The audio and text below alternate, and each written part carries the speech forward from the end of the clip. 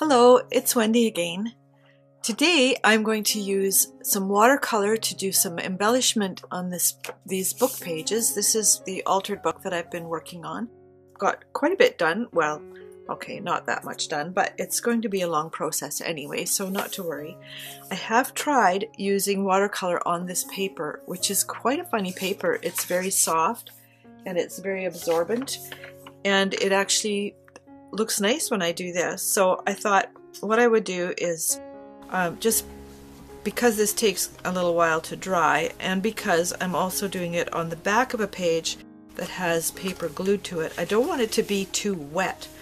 So I'm going to make stripes that will go with the other elements that are going to go on the page that I've kind of figured out.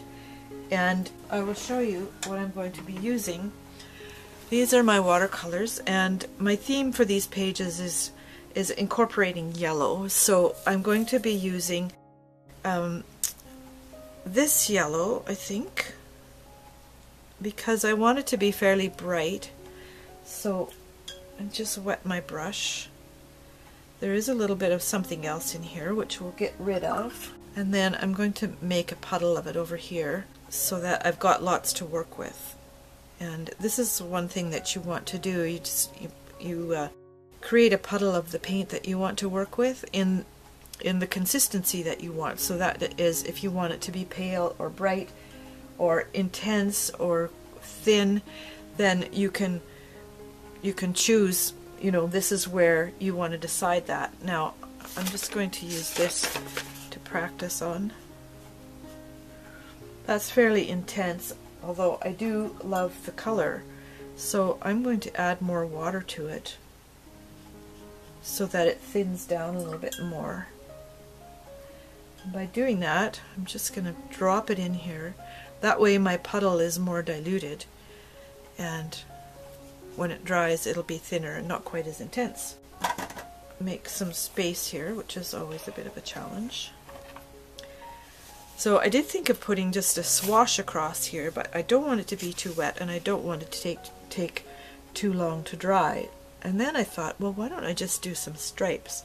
So these are going to be just really random, like not measured or anything. I like the diagonal. And you can see how here the, um, the paint is more diluted it's got a little bit too much on it. So I'm picking it up and using it over here. Because I don't want it to take too long to dry. And if you don't have a lot of paint in your brush, but it's damp, it will pick up paint. So I'm just going to run this back along here and see if I can pick up quite a bit of that. Don't want too much on any of them.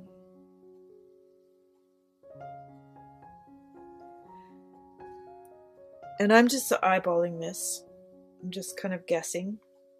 Uh, and the way that I'm doing that is at this end, I'm kind of going, okay, how far was it from the one before it? Better take this up just a little bit farther. And then over here, we're going to do the same thing. How far is it from the one that went before it? And you'll see what this turns out like in a little bit. And this is basically a new idea for me. I just kind of came up with it this afternoon.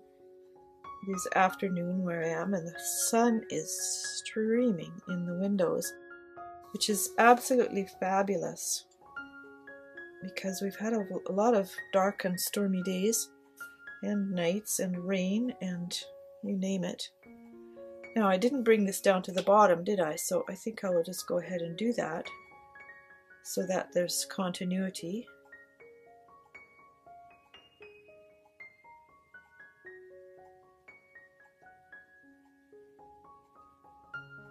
There, that's all there is to that. Now it'll take a little while for that to dry, even though there isn't really a lot of water in it, but the where the brush picks up, um, you you end up with a little bit more. But I just took the water, the paint out of my brush, and now it's just damp. and I can go in here and just pick up that water so that it doesn't really puddle there. However, I'm going to just leave that for the moment. That's all the painting we need to do right now. And, and I will leave this open and just let it dry. So the moisture will evaporate out of it and then I'll have quite an intense yellow here that I can use at another time. Which is why I don't clean off my whole palette because otherwise basically you're wasting paint. And nobody wants to do that because, you know, watercolors are not inexpensive. And if you paint a lot, you can go through a lot of them. Now, I found this page in this little book, Edith Holden's The Country Diary of a, of a Country Diary of an Edwardian Lady birthday book, which um, I found it was in my mother-in-law's things, and she um, passed away several years ago, and so it's got it's a it's a birthday book and it has dates and everything. Plus, it has famous people's birthdays and whatnot. But it also has full page illustrations like this. And my husband said it had had had no nostalgic feeling for him because he doesn't like this kind of stuff that much. So I was free to use it.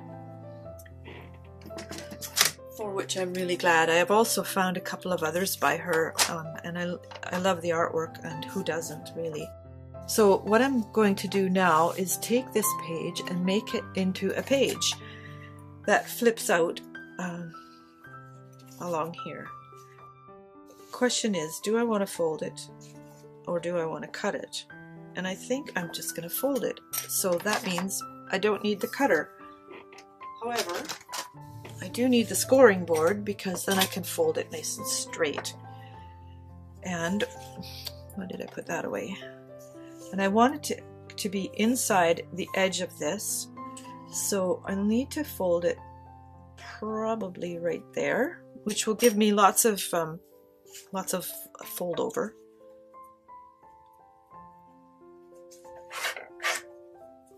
I got this um, this We R scoreboard a little while ago, and I really like it.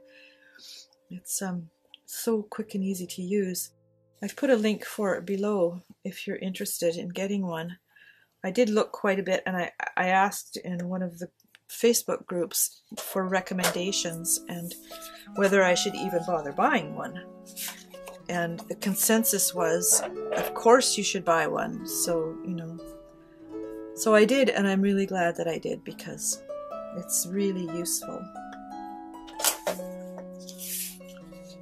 So now what I want to do is fold that piece in like that, and I'm going to glue it along there. And put this out of out of sight again. I will be using it again in a few minutes for something completely different. So just leave that there. And you know, even like this, this looks pretty, doesn't it? However, we're not leaving it like that. So I, I think I'll put this probably kind of centered here. And the question is which glue to use because they do perform differently. And um, Well, I think I'm going to use this one. This is Aleene's Tacky Glue. And, um, and it does quite well if the paper's not too glossy, I found, because on the cover of the other journal that I've been working on, uh, it's, it just didn't stick very well on the really, really shiny glossy paper. It's like plastic covered or whatever they do for, for um, packaging. But on everything else, it's pretty good and I would recommend it. And what I did was I took it, um, I got the big bottle like this and I took it and put it in this little one.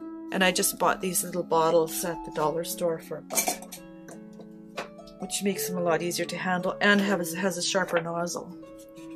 So I'm going to put this here, just kind of eyeball it,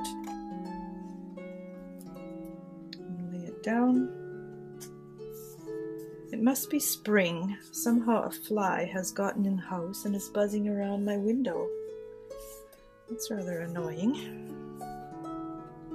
Flies. I wonder what their purpose in life is. I guess it's to feed the spiders and the birds. There, that makes kind of a nice little edge. And then we've got, it's almost like a little booklet here coming over. Now the painted side of this is already dry.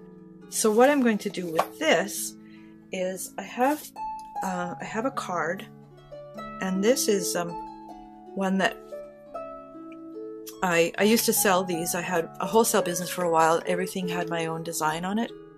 And then 2008 came along and the crash and the gift companies went out of business right, left and center and so did retail stores. And anyway, I eventually got out of doing that, but I have this and I think it's a really super message and and it's um, a great journal card and it's it's called the Serenity Serenity Collection Serenity Collection by me. So I'm going to put it here. However, I'm not going to just stick it on there. I'm going to make an envelope for it. And to do that, I've got this paper and I've got my scoring board, which has this very handy measurement tool for envelopes. So what you do is, first of all, you cut your paper, you, you look at the measurement of your card. So mine's actually four by five, not four by five and a half, but I don't mind having a little bit of a quarter of an inch on each end just to make it really easy to put the card in and out. That way it doesn't, it's not going to um, have any tension on it, so it won't pull the glue off or anything like that. So we're going to go with this. What I need then is a piece of paper um, 7 and 7 eighths inches square. So that's the first thing I'll do is cut this paper and make it 7 and 7 eighths inches square. So uh, let me see. There's 7, 7 and a half, 7 and 3 quarters, and another eighth. And this is a 12 by 12 sheet of scrapbooking paper. And then I'll just turn it this way and do the same thing. So seven, uh, just like that. I've got some pieces left over for my scrap bin. Yeah, we're done with that one. This one is a little bit tricky.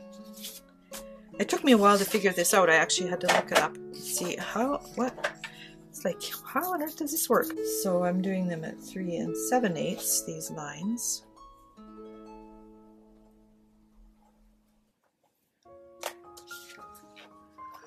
Okay. Now I fold them at that new line actually, I'm going to fold it this way first. This one isn't even very deep. Come on, let's... I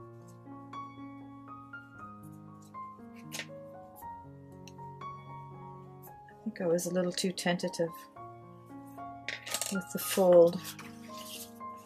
So, there we go.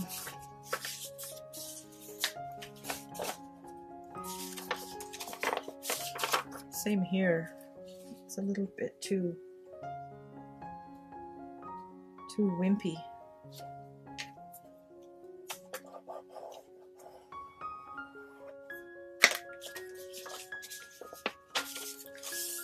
Okay, there's that one. And this one. I'm going to have to correct that on this little thing here because it didn't work out right. Now, just take these cut this little corner off.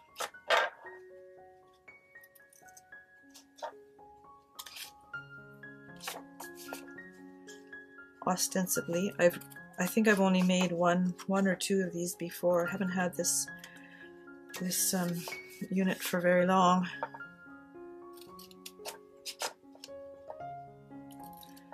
So we cut those corners. Come on, behave you ever talk to your paper? Talk to your project?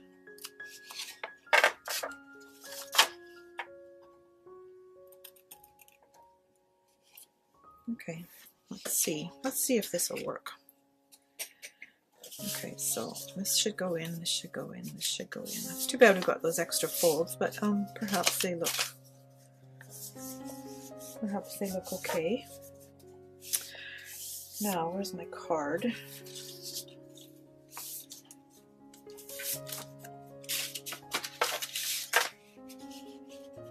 Well, it will go in, won't it?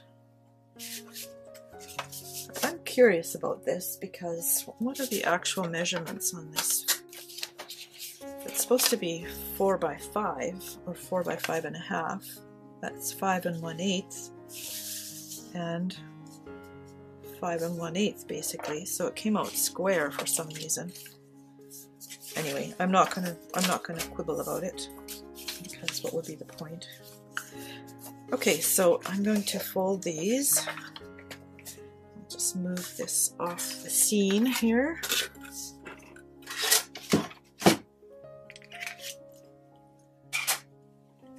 And I'm going to just glue this down. Just put a little dab of glue there. And then along here so that it stays in place. Like that. And here's the, our, our envelope. The sizing, I'm not entirely sure of. However, I think it I think it works anyway. As long as it fits on my page. That is another question. So let's see what we've got here. I wanted to put it this way but I think it's going to work better this way.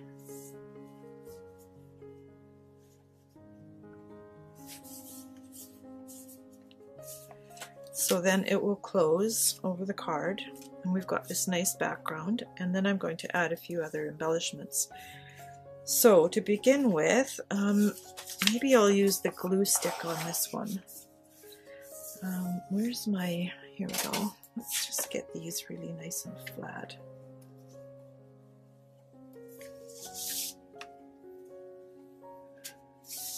And then they won't puff the book up anymore because it's already getting quite fat and I've taken dozens of pages out of it. But it's just totally fun to do. I think that extra fold actually is kind of appealing. We're gonna we're gonna decide that anyway. And I've picked out some other things here with some yellows in them. Uh, yeah, that one I guess is yellow. That would work with this what do you think about that? No, I don't want that. That's too fussy. This one is, I think, I think maybe too big. There's another decoration. Be nice to tuck this in though, to have a place to tuck it. So maybe if I put this flower this way and put this right here, then that would tuck in.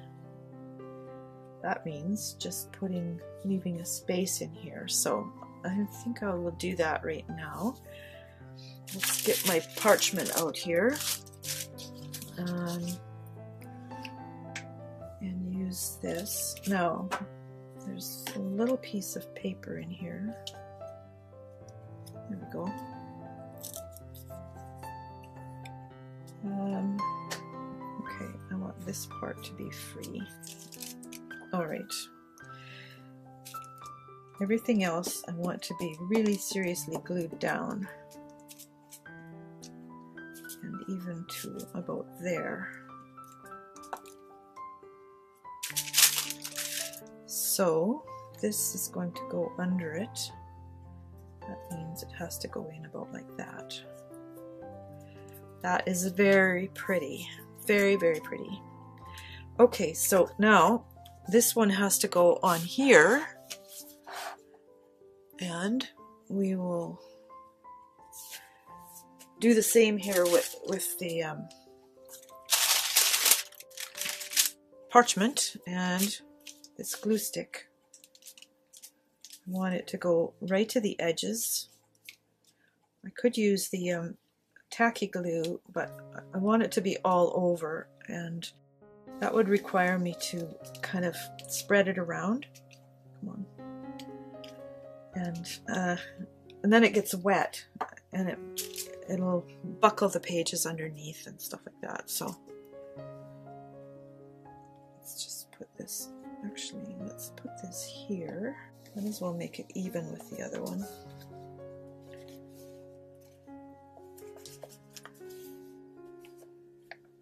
That gives me a space to put something up here should I cho choose to do that, which I just might. Now on this page, do I want that there? It's not really the color family that I want, but I sure do like this one. However, it's too big and I'm going to have to look a little bit more, but this, this goes in here and I think it's a really good reminder to just breathe.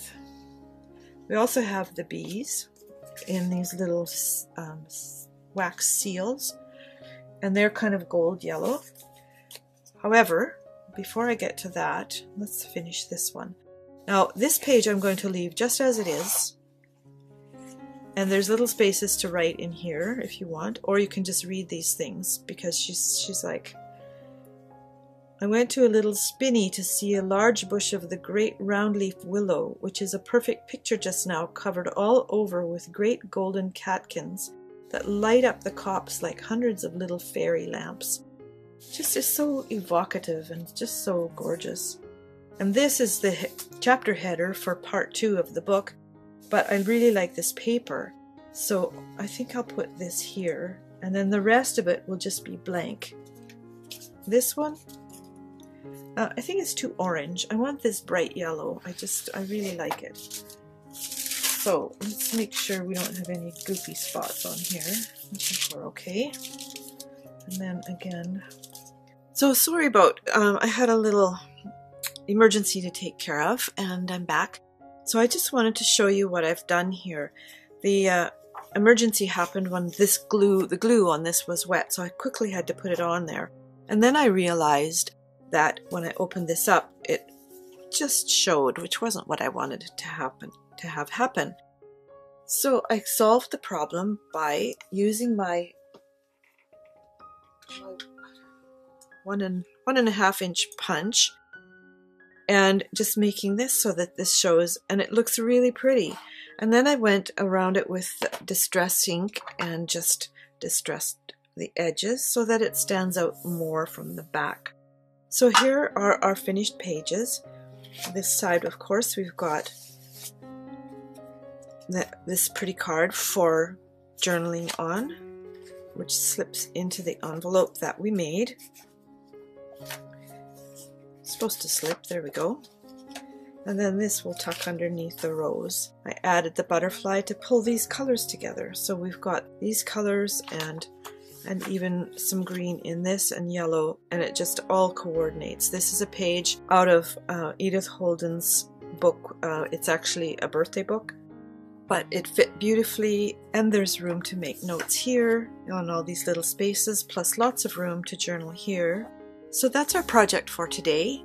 I hope you've enjoyed it and I hope you'll take some ideas from it and have fun with it and I'll see you next time.